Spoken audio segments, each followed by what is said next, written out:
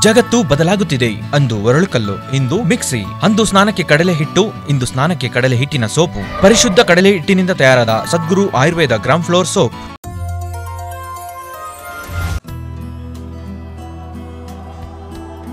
Uttara Kannada ಜಿಲ್ಲೆಯ ಹೊನ್ನಾವರ ತಾಲೂಕಿನ ಕಾಸರಗೋಡಿನ ಇಕೋ ಬೀಚ್ಗೆ ಈಗ ಅಂತಾರಾಷ್ಟ್ರೀಯ ಮಾನ್ಯತೆ ಬ್ಲೂ ಫ್ಲಾಗ್ ಸಿಕ್ಕಿದೆ.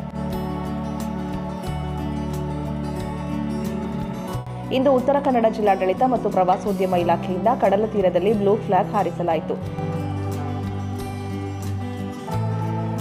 ಇಕೋ ಕಡಲ ತೀರದಲ್ಲಿ ಆಯೋಜನೆ ಮಾಡಿದ ಕಾರ್ಯಕ್ರಮದಲ್ಲಿ ಜಿಲ್ಲಾಧಿಕಾರಿ ಹರೀಶ್ ಕುಮಾರ್ ಮತ್ತು ಬ್ಲೂ ಫ್ಲಾಗ್ ಮಂಡಳಿಯ ರಾಷ್ಟ್ರೀಯ ಸಂಚಾಲಕ ಸುಜೀತ್ ಡೋಂಗ್ರೆ ಭಾಗಿಯಾಗಿದ್ದರು.